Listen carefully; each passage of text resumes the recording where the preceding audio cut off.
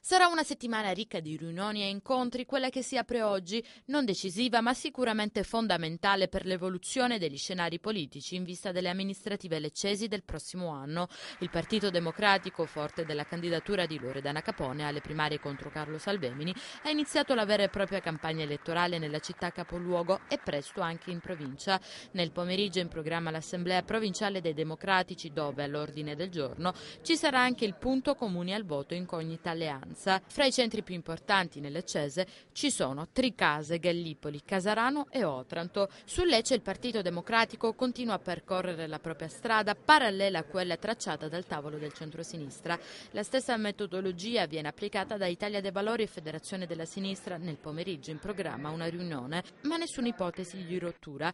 Lo conferma il coordinatore provinciale Francesco D'Agata. È un percorso che abbiamo avviato da tempo, discutiamo di metodi e vagliamo anche ipotesi di candidature. Il tavolo del centrosinistra è e rimane il nostro punto di riferimento e non intendiamo uscirne. Proprio il nome della dipietrista Sabrina Sansonetti è nella rosa dei papabili alle primarie. L'ultima parola però spetta al leader Antonio Di Pietro. Le vicende di governo hanno fatto slittare l'incontro, dice D'Agata, lasciando intendere che Di Pietro non tarderà a farsi sentire. Terzo polo allargato e corsa solitaria, anche il centro si muove, alza il tiro e tenta lambo sulla ruota di Lecce. In settimana i leader salentini dei partiti di FLI e UDC incontreranno il coordinatore di APL Paolo Pagliaro e Adriana Polibortone di Osud. L'obiettivo è rinforzare il terzo polo, esprimere una candidatura e sperare di arrivare al ballottaggio. Di certo c'è che al momento ipotesi di alleanze con il centrodestra, centrosinistra non ce ne sono. A confermarlo è Paolo Pellegrino, coordinatore di FLI.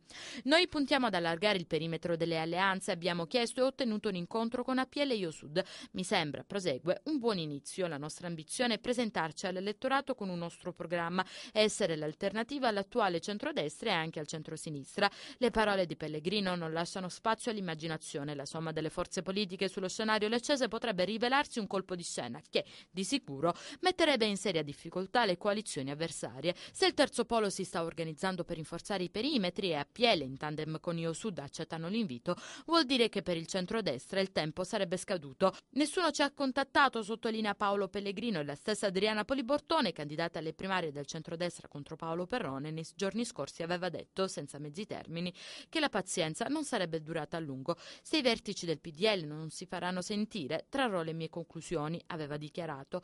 E chissà se in questa settimana non ci sarà una nuova inversione di rotta. Il PDL dunque resterebbe isolato con la candidatura di Paolo Perrone alla carica di sindaco. Per il momento il Popolo delle Libertà non ha mosso alcuna pedina ufficiale, ma non è detto che con il ritorno dei big sul territorio come Raffaele Fitto e Alfredo Mantovano non possano cambiare gli scenari.